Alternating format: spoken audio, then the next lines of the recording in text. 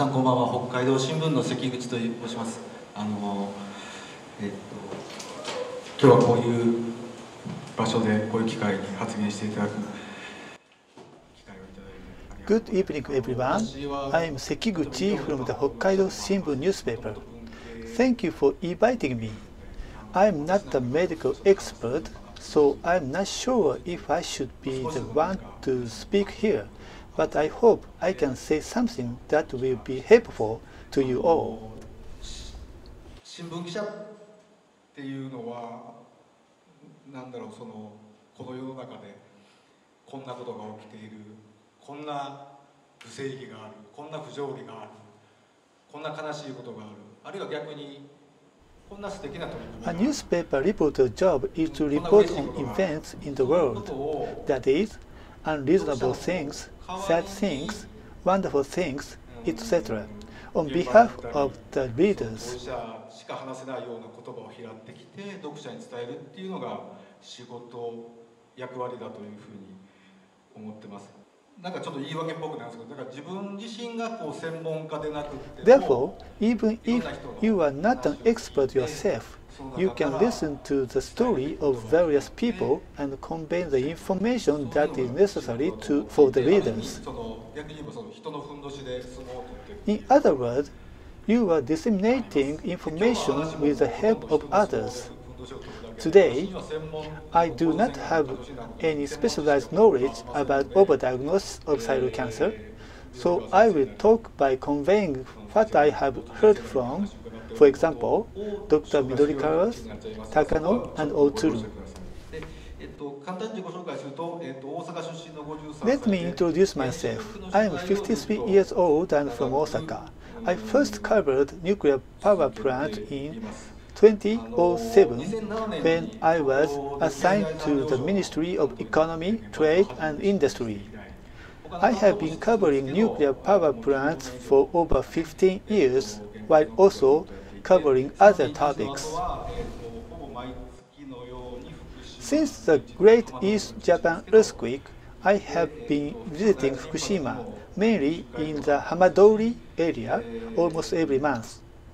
I have been to the Fukushima Daiichi nuclear power plant more than 20 times I also went to cover the Prefectural Oversight Committee for Fukushima Health Management Survey, POCF.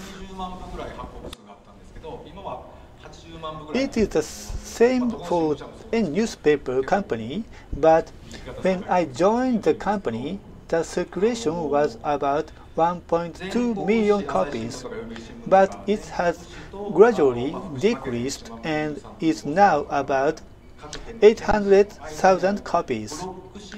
It is a newspaper company that is defined as a block paper that is in the middle between national newspapers such as Yomiuri and uh, Asahi and local newspapers such as Fukushima Minyu and Minpo. A newspaper company of that size was just right for me to cover. For example, in a national newspaper, the person in charge of nuclear power plants and the person in charge of victims would be different. However, in the case of Hokkaido Shimbun, I am left in charge of everything, so I can cover the topics freely according to my interest. I think I should state my opinion first. I think nuclear power plants should be stopped. There are two reasons for this. The first is that if an accident were to occur, the damage would be too great or the effects would last for too long. I cover Fukushima every month, and when I give lectures in Hokkaido and other places, I use this photo. Do you know what it is? I'm sure many of you will recognize it. But if you zoom out, it will look like this. It's a row of cherry trees in Tomioka town. This row of cherry tree is divided halfway through, so you can enter the front side but not the other side of the barricade. This photo was taken quite a long ago. The barricades are gone now and you can enter now. I show this photo when I give lectures in Hokkaido, but many people in Hokkaido think that since it's been four to five years since the nuclear accident, uh, most of the things have been sorted out by now.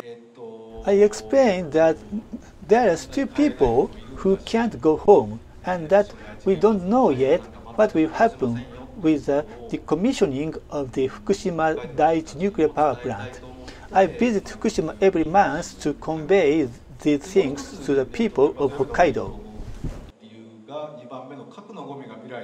The second issue is that the problem of radioactive waste disposal has not been resolved.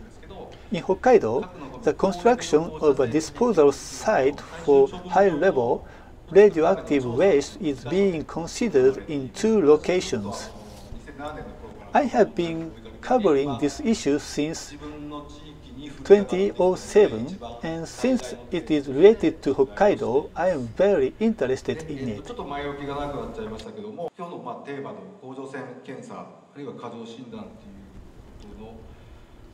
That was a long introduction but I would like to begin today's topic, overdiagnosis of thyroid cancer. I have distributed to everyone a copy of my article by Dr. Midorikawa and a recently published article by Dr. Takano.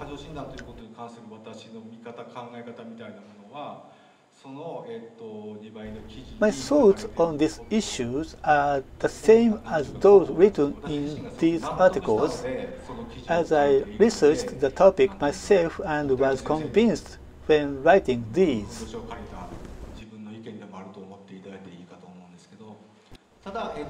However, I will show you some article to explain that this was not originally my intention.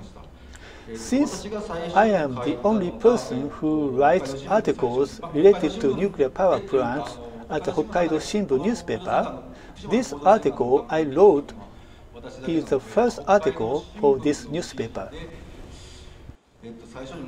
I wrote a one-page article in 2015 for a special features series called Looking at Fukushima, which is still ongoing. In it, I interviewed Hokuto Hoshi, the chairman of the POCF.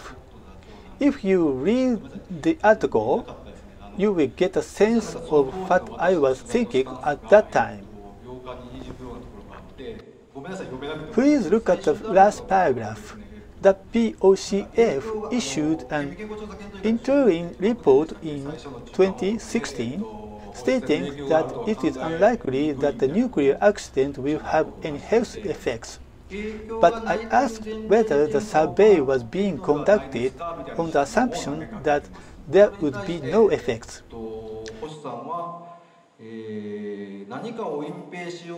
In response to this question, Hoshi replied that he had no intention to concealing anything.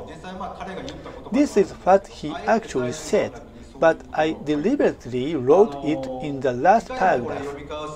This was written in the way that made the reader suspect that there must be something hidden after all.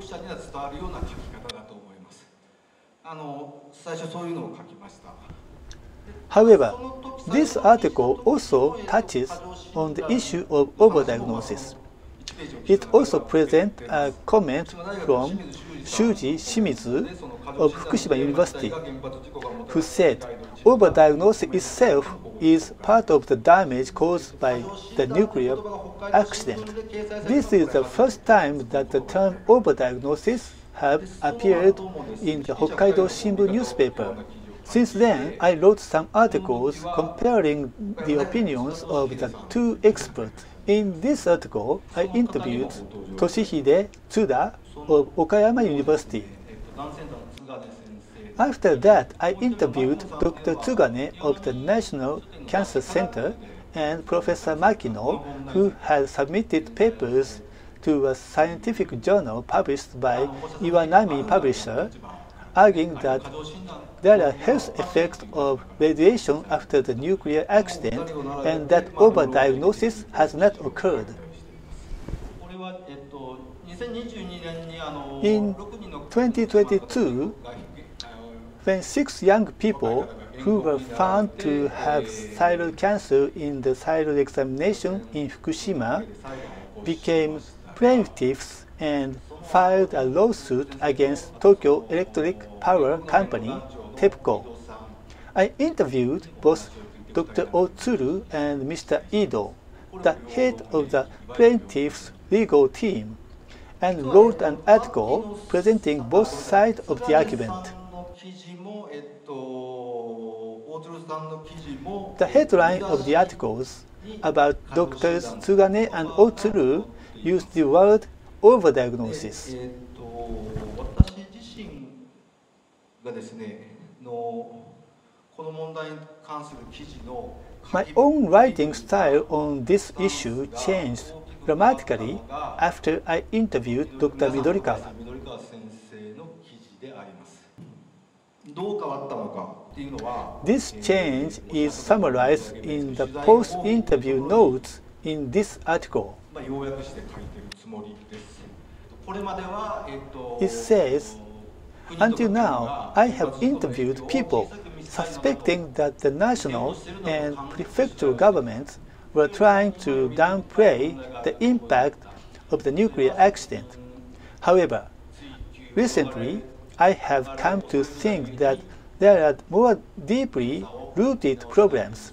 For example, the inaction of the government, which is unable to review the silo examination due to fear of being held accountable. Here are some words from Dr. Midorikawa when I interviewed her. Hundreds of children are being examined today.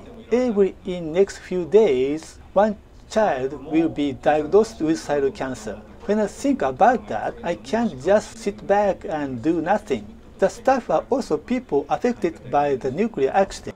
We worked hard because we thought the thyroid examination would bring peace of mind. We thought it would be good for the children. But if the staff were to blame for causing harm like overdiagnosis and turning a blind eye to it, it would be unbearable. I don't want anyone to go through that. Hearing these words, I realized that she was truly concerned about the situation. I really want to convey these words to the people of Hokkaido, so I wrote a one-page article about it. Early in the morning, on the day it was published, I received a call on my cell phone from the former director of the Hokkaido Cancer Center. He said Don't be ridiculous. でその後、えっと何人か、えー知ってる方から知ってる方っていうのは私あのずっと原発はやめる I have written articles criticizing nuclear power plant policies, so I am on good terms with people who advocate an end to nuclear power. I received a call from these people. えっと電話があって一人その One of them, who had evacuated from Fukushima on his own, said, We will make sure that you will not be able to write article for the Hokkaido Shimbun newspaper in the future. In fact, about a week later, a letter of protest addressed to the president was sent, saying, don't let Sekiguchi write articles. However, my position within the company did not change after all. 一番なんか受け取ってうわ嫌だなと思ったのはそのえっ、と The most unpleasant thing that happened to me was when I received a postcard addressed to Dear Combated Editorial Member Yuji Sekiguchi. あの要するに思想的な転校あなたがちあまあ転校へ責任中に The postcard had the word traitor written on it in large letters. I was quite disappointed when I saw it. I was often attacked on social media, and an editor from a magazine sent me a long email of protest. However, I was convinced after listening to Midorikawa's story and as a result, I wrote the article. So I do not regret writing it. When I interviewed Shuji Shimizu, he told me that he had had a similar experience. I have always criticized nuclear power policy, but as soon as I said that there were no concerns about the health effects of radiation exposure in the end, I was attacked and called a traitor. I was also criticized for underestimating the impact of the nuclear accident. Shimizu also said this I understand the desire to hold TEPCO and the government responsible, but there is no need to exaggerate the health damage in order to criticize nuclear power.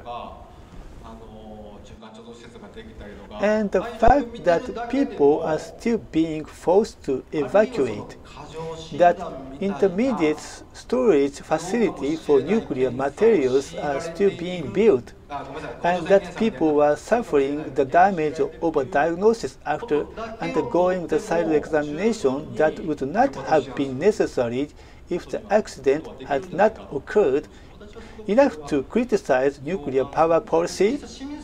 And yet, even when Shimizu writes articles like this one, he is criticized. There are several people who are known that we will be criticized if we write articles about them. And I interview such people and write articles, so eventually I often get criticized. This is an excerpt from the book Fukushima Discrimination for Happiness, written by translator Kayoko Ikeda. To those who get angry when we clearly said that the impact of radiation from the nuclear power plant was minimal, as this is an act of the treason to help the government and TEPCO. I want them to also consider how much such information would reassure the people of Fukushima. I agree with this opinion. あのちょっとなんか今朝慌ててなんか一応データ的なことも取ったのであのこれ見にくい Finally, I'd like to show you some data. 数字の羅列で申し訳ないんですけどあの上書いてるのは同心北海道新聞朝日読売 These are the number of the articles that uh, come up when searching each newspaper since 民放っていうのは福島民2011 using the three keywords, thyroid, Fukushima, and nuclear power.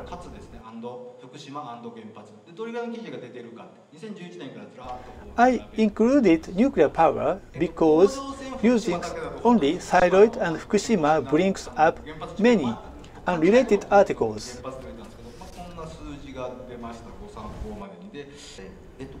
The newspaper with the most consistent article is the Asahi Shimbun. This is a compilation of only the Asahi Shimbun data. There is some overlap between local newspapers, so the numbers are not necessarily accurate. But I think you can see the trend.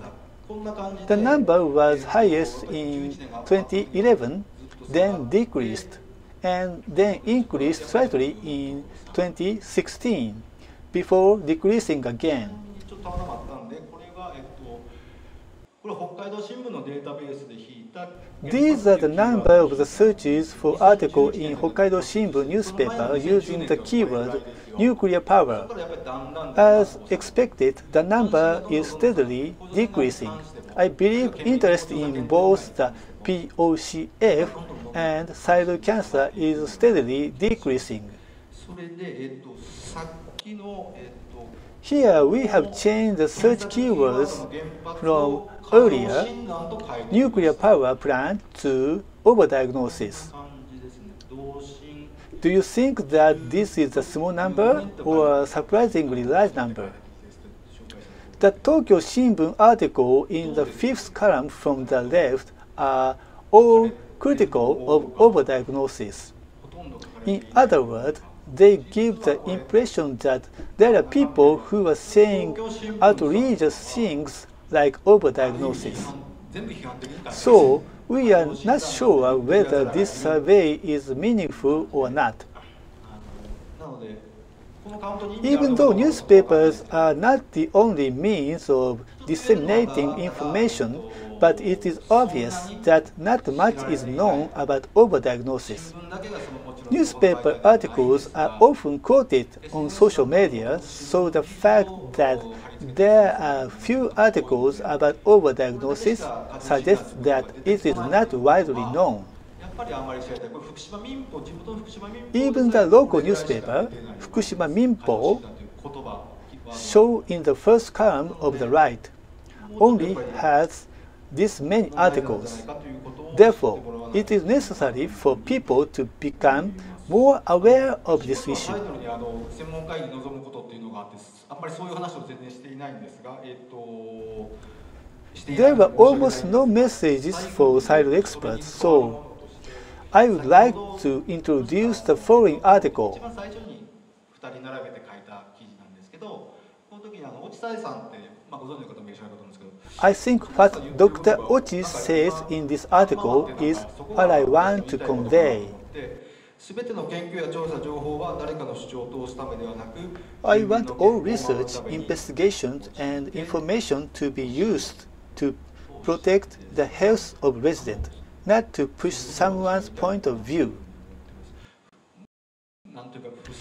I hope that inaction postponement and experts' evasion of responsibility will not let the younger generation of Fukushima suffer damage that they should not have to endure in the first place.